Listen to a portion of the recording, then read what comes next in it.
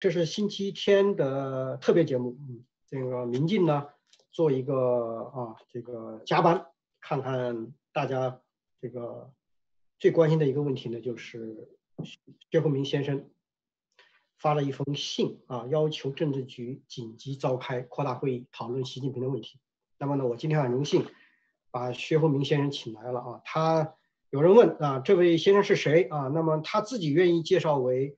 啊，独立的时评人士啊，就他是这么介绍的，嗯，他是中国公民啊，这是他愿意啊喜欢的一个，当然他学专业是法律背景，那么目前呢，他在做太极拳文化方面的一些问题，当然大家看到他也关注中国文化，关注中国政治啊，呃，我们这个节目呢，希望大家就是因为可能被黄标，因此呢，希望大家打赏啊，另外一个呢，我还有几个问题，问完那个薛先生之后呢。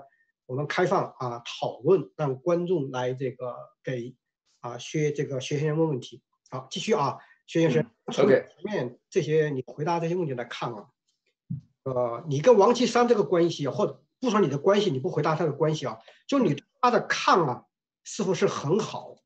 那么我们也遇到另外一种关，就是就是王跟习是穿一条裤子的，你怎么能指望王跟习这个时候站在他的反面上去呢？我想听听你对这个问题的解释啊，呃，我想哈，呃，有句话大家都呃听过，呃，只有永恒的利益，没有永恒的政治，对吧？这个政治的盟友都是建立在利益基础之上的，这是第一。那么第二，我从深层的来做一些分析，王岐山和习近平。其实没有多少深的渊源。之所以有渊源，是上山下乡的时候，那个谁，呃，这个习近平在延安那边路比较远，呃，从西安这出来一天赶路赶不到，那中途要找一个地方要借宿，在王岐山这里借过宿，啊，所以在十几岁年轻的时候。他们有过交往，有过往来，啊，哎，但是他两个人的性格是完全不一样的。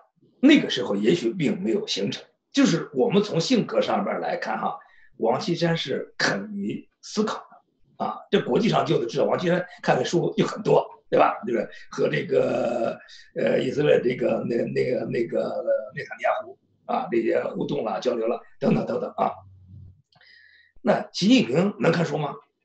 习近平晒过好几次书单。我可以告诉大家的是，凡是晒书单的人，他连一本书都看不懂。我看过几本书，我都不记得，我没看过几本书，但是我看一本书，我就能看懂，我用不着去晒这个书单，啊，所以这是他们的一些。在素质方面的根本的这个差异，所以在意识形态和执政理念上，他们谈不上有什么长期的互动。在执政的过程中，两个人也走的也路线也不一样，对吧？那个习近平来这从正定出来，到了福建啊，从厦门，然后那个那个到了福建，然后呃福建省，然后再到了浙江，再到上海，这么上来的。那王岐山是在从农园中杜润生。赵子阳的那条线里边出来的，对不对？王岐山这真的是是出头露面，是在朱朱镕基执政的时候，对不对？当然就是走到前台，就是临危受命，啊，治理这个萨尔斯。那么他们的所谓的渊源，就是习近平上台之后，他没有人，他也没有能干的人，啊，他希望王岐山能够帮到他。应该是做过促膝长谈，啊，王岐山看到二十年中国政治这种腐烂，也愿意帮他来料理啊，怎么样把这个权力稳住？因为什么？因为那个这个江泽已经这个干扰这个这个呃胡温十年，一事无成，对不对？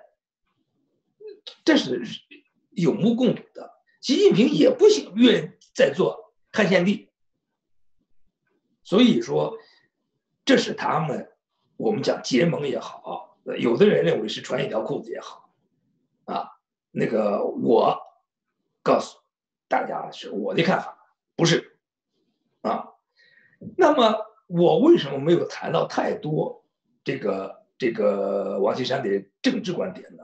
因为王岐山也曾经讲过党政合一，曾经也颂扬过毛泽东。那么王岐山到底在政治的方向上是怎么思考的？他的行政能力是绝对的强，啊，但是在政治的方向上思考是怎么考虑的？需要进一步的这个这个去呃探究吧。但是王岐山和任大炮的渊源，那可就深了。这两个人是哥们儿，这两个人的意识形态。思想，那是几乎可以说是完全一致。如果说是习近平跟王岐山睡过一条被子，那这个这个任大炮至少跟王岐山能尿到一个壶里，啊，这个他差了几级，对吧？那个王岐山，呃，上高中时候，这个任志强是这个初中，啊，但是成人之后，这。三十年，两个人的交往都是越来越密切，尤其是王岐山当了市长，北京市市长之后，那意识形态的很多呃观点，啊，我想他们也未必说是百分之百一样，但是他们肯定是敢面对面的，啊，那个他们的这种私人关系硬到什么程度？硬到这个任志强可以不给王岐山的考虑面子的问题啊。就是开会，我讲完我就走了。你当市长，你要讲，你给讲的别人听，我还忙着呢。啊，这个这个，呃，我想一般官场上的人是不敢这样的，对吧？你没有他们这么深厚的，所以王岐山和任大炮的这个他们的关系是属于意识形态理念上的这种结合朋友，而和这个习近平仅仅是历史渊源短暂的。一个过程，那么这个过程呢，就分了这个两小段插队的一段和上来要抓权这这么一段啊，这是我我能给大家讲的啊。前面我们谈到你对习近平啊这个啊检讨啊，要政治局去检讨它呢，涉及到中国的方向一个调整啊。那我在你的这个行文中呢，啊，是否发现你想把这个航程啊掰到？邓小平的这个方向，是不是这个意思？还是我理解错了？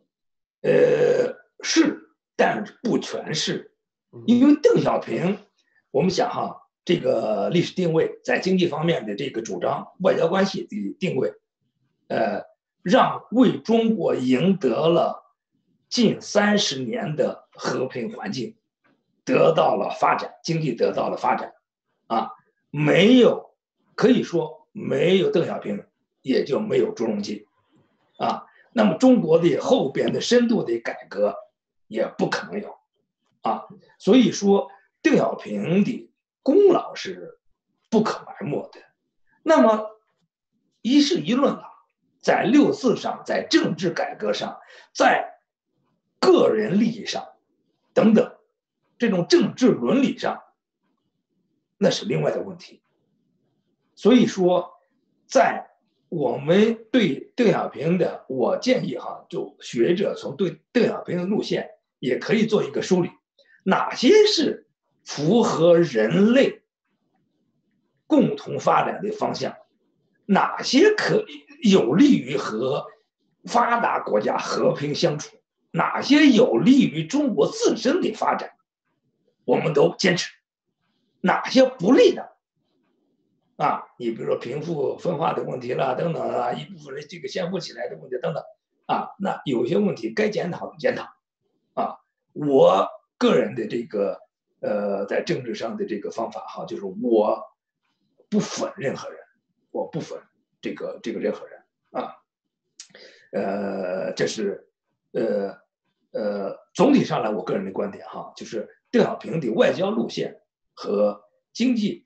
这个这个方向是值得肯定，那么在政治上必须要再上一个台阶，啊，呃，因为有一些问题也是他的邓小平那个时代的局限性，我们讲历史的局限性也好，个人的局限性也好，那个政治这个状况的局限性也也好啊，呃，各种因素这个都有啊，那个，但是这些因素在那个时候发发挥了这个负面的这个作用，阻碍的作用，但是这些因素。尽管我们承认它是历史存在，但是不应该阻碍中国进一步往下、往前发展的方向。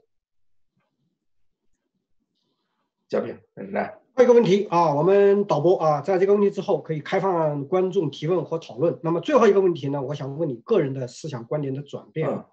您呢，原来是我记得是习近平的。网络上的最大的支持者之一啊，因为我看你的 是的 啊的一些一些文章，对啊，这一次你好像做了一个很大的拐弯啊，你也调整了航向，这是什么原因？呃，这个不能说是一页。那么我在给栗战书的这一封信里边，呃，把这个交代的比较清楚啊，我很明确讲，我曾经是习近平坚定的支持者。那为什么？就是我们作为一个外围持续关注政中国政治的人哈，我没有太太多一手所谓的一手资料，对吧？我们都是作为秉持我三十年来在北大就开始的养成的这个这个关注政治的这个习惯，那么关注从显现出来的。公开的这资料去对中国的政治做一些评论和分析。习近平，我个人认为他并不是一个坏人，对不对？那有些方面，我觉得他比江曾时代的很多人是要好，对吧？你看他的家教，对吧？他很早就受到这个排挤，为人比较朴素，在为官的路上一直比较低调，直到。二零一二年之后，啊，这是他的。那，呃，我想，呃，昨天、前天，呃呃，今天、今天，网络上流传了一个习近平早期，应该是抱着女儿是半岁还是一岁时候的这个一个小的视频。呃，我想，那个就是习近平的真实面目，对吧？就是他是一个很普通、很朴素。啊，很坦率的人，但是另外一方面，他是一个没有能力的人，文化程度并不高的人，没什么思想的人，对吧？他的能力，这个，呃，李瑞，李瑞老先生讲过了，说你们怎么不想点办法呢？习近平回答他说：“哎呀，这个。”打擦边球的事儿呢，我们不会，这就是习近平的认识水平。所以你翻习近平的历史，从正定开始，一直到中央，他有任何功绩吗？没有任何功绩。他在哪个地方都没有发发表过带有思想性的政治内涵的讲话，在经济产业措施上都没有任何。功绩就是这样的一个人，在中共产党的体制里边被平衡出来了，平衡出来，这是历史的偶然。那么，既然他有那么多正面的一些啊，这个这个这个素质在，那我们不妨对他寄予一定的期望。那么，同时大家也对江泽民毒害中国政治二十年。痛恨不已，对吧？希望他能够彻底改变这个政治生态，这是我的初衷啊！因为在他进到中央、站到台前之前，哈，我始终认为他是一个这个很平庸的人啊，谈不上坏人，也谈不上好人。有人就说他是左，有人说右，我坦率讲哈。这都是没有看懂习近平。习近平既不存在左，也不存在右，他脑子里边只有他遗留下了文革的那点词汇量，啊，他没有什么思考啊，他也并不懂得文革的意义就在哪里，所以他不存在这个这个左和右的这个这个问题。那么，习近平上来之后安排了王岐山，原来我以为王岐山是是会主管经济的，结果王岐山去搞纪检，这个是大出我的所料。哎，难不成习近平真的是有大抱负、大胸怀、大计谋在吗？对吧？为什么中国的政治推进必须有实权，否则你就是汉献帝，对不对？胡锦涛和温温家宝的十年已经说明了问题。我对胡锦涛是，是我个人是非常这个认可的啊，这是一个廉洁。呃，公正的这个共产党人，但是，他能做什么吗？对不对？他也不不敢，也没有能力来做抗争，也不敢破坏党的团结，对吧？那那那那，呃，我想这个事情没有搞好，反而搞坏了，呃，那就就就更糟。所以，这是我个人支持习近平和王岐山抓权。你要推行任何政策，必须有切实、实实在在的这个政治权利、政治条件，啊，这样一个。但是你抓到了权力之后，你要干什么？那就能够表明你思想。因为在那种当时前几年哈，我们讲哈的，呃，一七年之前，一二年到一七年这五年的之间政治斗争，呃。比如他讲一个左的话，或者讲一个右的话，都不足以下判断，他是有左的思想还是右的思想。比如说，习近平他讲过这那个宪法的问题、宪政的问题，那不是被被被这个这个曾庆红那个给开了这个这个天窗吗？对吧？那个这个南方周末给他撤了，对不对？但是他也讲过什么文化大革命。等等等等，啊，实验了什么什么不能否定了什么什么的。后来这些就，呃，这个对对毛泽东这些，他他脑子里边还还能出来什么东西呢？对吧？那十九大，二零一七年下半年的十九大，等于全部权力到手了，对吧？从二零一八年呃这个十八大开始嘛，啊，十八大、十九大完全掌握。但是他掌握了之后，按照国内政中国政治的这个程序，公人员要到位，行政职务调调整要到位，要到二零一八年的两会之后才能到位。啊，十九大只是解决这个这个共产党的这个这个呃这个领呃那个领导权力的这个问题，那么剩下的这个行政上要由两会来，这也是湖北省的省长和武汉市的市长。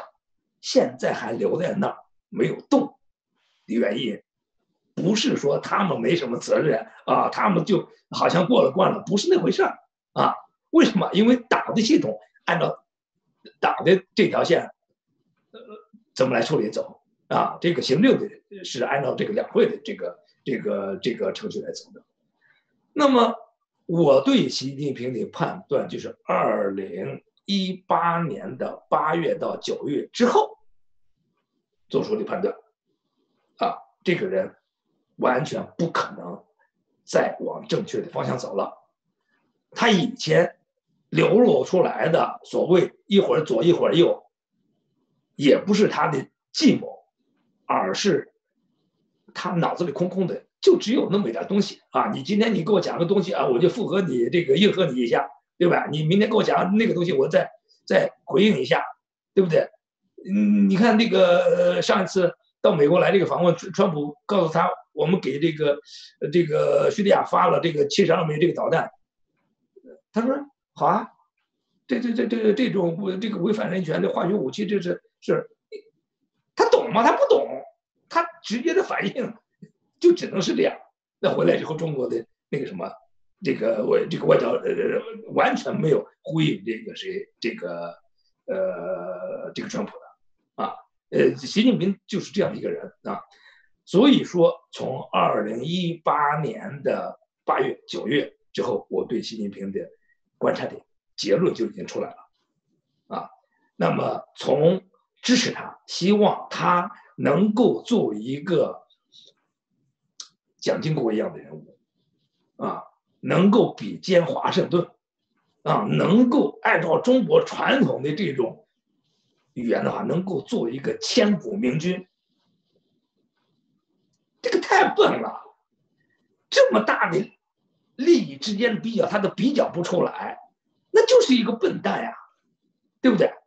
你想，你共产党你能活多少年，对不对？但是如果你把中国、把中华民族带到了一条健康发展的道路上，这是千秋万代的功业，就是这样一个笨蛋，他掂量不出来，对不对？他没办法去选择，他看不到。那还能怎么样啊？啊，所以说，那就走到了今天。那既然你做不了，那就你就不要做了，对吧？呃，我想对他个人也好，他也呃，据说他每天都是两三点才能睡，啊，睡不了四五个小时，啊，那个三四个小时，呃，精神压力很大，就很紧张，啊，也无人可用，也没人可信，他自己没有办法判断。对不对？你你怎么判断别人讲的是真的假的呢？对不对？所以他也很痛苦啊。那么唯能够让他解决解解除痛苦的，就是你就让出来啊，你就不要做了，对吧？对你自己也好，对中国的政治也好，对老百姓也好，对国对这个民族也好，对世界都好，对不对？我想中国愿意和世界大家庭。国际大家庭共同让人类进入到一个和谐的社会里边去，那不是很好吗？